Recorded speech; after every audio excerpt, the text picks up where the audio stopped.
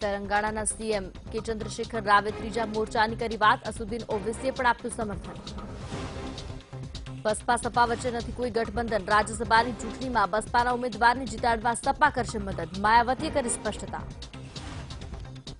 PNB કૌભાંડ મામલે કોંગ્રેસે રાજ્યસભામાં આપ્યો સ્થગન પ્રસ્તાવ. મલ્લિકાર્જુન ખડગે કહ્યું, દેશહિતના મુદ્દા ઉઠાવતા રહીશું. પાકિસ્તાનના પ્રધાનમંત્રી જશે નેપાળ પાંચ અને છ માર્ચે જશે નેપાળ પ્રવાસે. સુરતમાં કમિશનર કચેરીએ યુવકે કર્યો આત્મહત્યાનો પ્રયાસ. વ્યાજખોરના ત્રાસને લઈ આપઘાત કર્યો હોવાની ચર્ચા. મોરબીના માળિયા હાઈવે પર કોટન મિલમાં લાગી આ કપાસનો જથ્થો આગમાં બળીને ખાખ